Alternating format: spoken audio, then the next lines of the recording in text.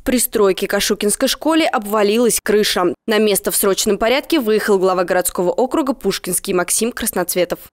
Компания, которая осуществляла строительство, на сегодняшний момент находится здесь. Это компания ООО «Спецмонтаж Строй». На момент обрушения пристройки никого не было. Пострадавших, э, потерпевших нет.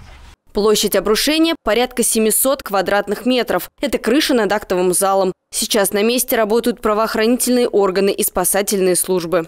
Пристройка Кашукинской поселковой школе открыта в 2020 году. Сейчас в здании занимаются порядка 700 детей. Прокуратура города уже начала свою проверку.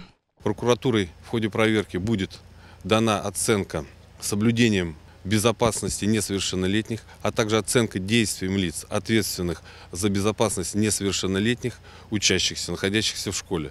А, по результатам проверки при наличии достаточных оснований будут приняты меры прокурорского реагирования.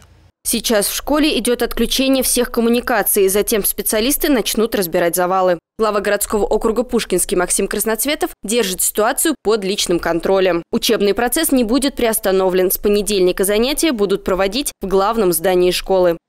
Екатерина Дубровина, Фарид Галиев, Евгения Коломейц, Владимир Парфенов и Анна Белова. Новости Большого округа.